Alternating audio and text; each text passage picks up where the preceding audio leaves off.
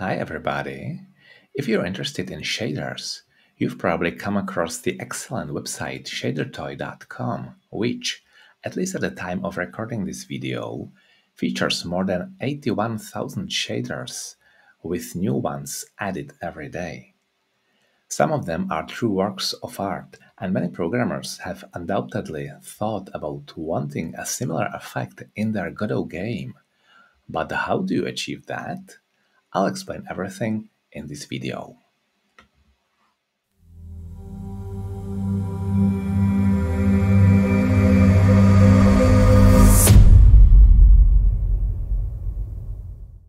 ShaderToy is a website, so it's powered by WebGL that uses the OpenGL's shading language, or GLSL, to code and present the shader effects.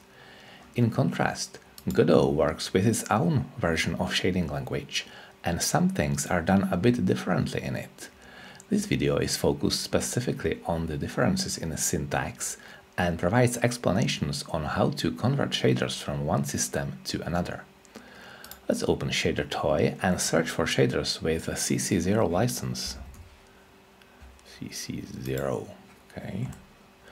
Uh, this license is another term for public domain, which means that with such a shader, we can do whatever we want without violating copyright. Always make sure to verify the type of the license before rewriting a shader or using it in your game.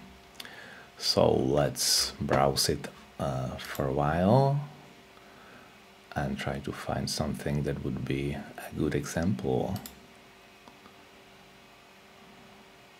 Alright, this effect looks cool. Let's take a look inside.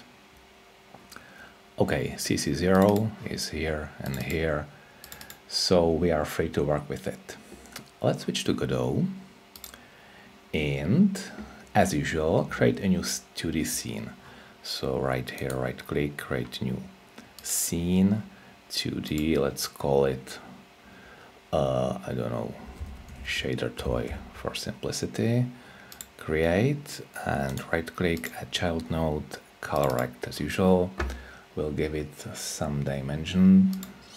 Uh, let's say 600 something wrong with no okay 600 by 400 and we need to add a shader material right here to material. Click it and create a new shader canvas item and put it to the usual shaders folder and create and click to open. Okay so I'm already working with Godot 4.2 which changed the default template a little bit. As you can see we have all supported functions here, vertex, fragment and light, but we'll be using only the fragment one, so we can delete the rest. Okay, fine. Now we'll copy the shader code from ShaderToy to Godot. So Control A, Control C, and back right here, Control V. Of course, this doesn't work, there will be a lot of errors, we need to address them. Let's delete what's already implemented in the Godot shading language, because for example, we don't need to define time, time is already there, pi and tau as well. As for resolution, it uses the shader toy specific uh, variable i resolution, which is not defined in Godot, but we will address it in another way. Right now, we can safely delete these four lines. Now, it seems there is an error in this declaration. We are creating a constant of an array type, and arrays are defined differently in Godot. Instead of this, we will use curly brackets. Uh, what's that? Once again, delete curly bracket here and here. Then the error should be gone. Is it? Of course not, because we are using uh, the mat2 function, which in GLSL uh, expects four parameters, but not in Godot. We need to change it to two vector parameters. Vec2 for these two, and same way right here, vec2 and and bracket. Error should be gone. Great. So what's next? As you can see, the resolution which we deleted, it is used here and we will calculate it by divided 1 by uh, screen pixel size. But screen pixel size is defined only in the fragment function, so we must do it here. Let's delete this comment and create uh, vec2 resolution is 1.0 divided by screen pixel size okay. And let's move everything from the function void image I mean void main image to fragment because this is the main function used by shader toy with some uh, input parameters and output parameters but uh, Godot shading language uses only fragment with no parameters so there will be some further changes. Let's copy this code and move it here and we can get rid of this function declaration. Okay. Uh, and we of course need to change the previous parameters like frag coord is actually frag coord in Godot shading language but in uh, capital letters and the result is not frag color but color. Okay. Of course, it's still not working because we need to use the resolution in the custom function color, which is right here.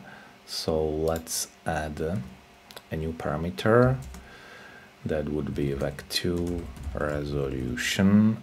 Uh, so the error should be gone, but we of course we need to define it right here. Oh, okay, coord is a vector 4, I think. So let's use only these xy parameters. And color is called here. We have a new parameter resolution. Let's add it here. All right. And we can see everything is uh, working now and the effect can be seen here. Let's check our color rect okay and as you can see the effect is not centered if I move it it's still at the same uh, place it's because we are working with screen coordinates, which would be okay only if we want to display the shader on center on the entire viewport. But if we wish to use just a smaller rectangle, it's necessary to change the screen coordinates to the local ones. Let's find it here in the fragment function. And instead of screen pixel size, we would use texture pixel size. All right, and instead of this, we can simply add it to UV. Uh, we can simply use UV, I mean.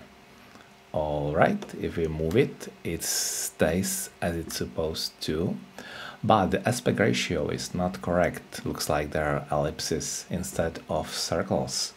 That's because the texture is actually a square, as we can see in the inspector. To fix that, we need to replace this 1 with the actual dimensions of the color rect. I'm not certain if Godot has a way to detect it inside the shader, so I fixed it simply by adding a uniform parameter, which we can then modify in the inspector as well. Let's do it uh, here. So it would be uniform vec2 resolution and let's give it some default value. We used 600 by 400 okay. So this is the definition. We can already see it here in inspector. And now let's use it in the fragment function right here. And we have it oh that's it and of course, if we change the dimensions of this color rect, we can change the parameters here and keep it uh, with the correct aspect ratio. The process I demonstrated should work for most shaders you find on Shader Toy. Of course, some shaders are more complex, using textures as input, like this one. or even uh, audio streams. For example, this one, as you can see, there's some audio which drives probably something, or it's maybe just uh, background music to make the effect even cooler. And yeah, however, for understanding the basic differences, this should be sufficient. If you want to learn more about this topic, I recommend the Converting GLSL to Godot shaders page in the official Godot documentation. You can find the link in the description of this video. Anyways, have a great day and see you in the next video.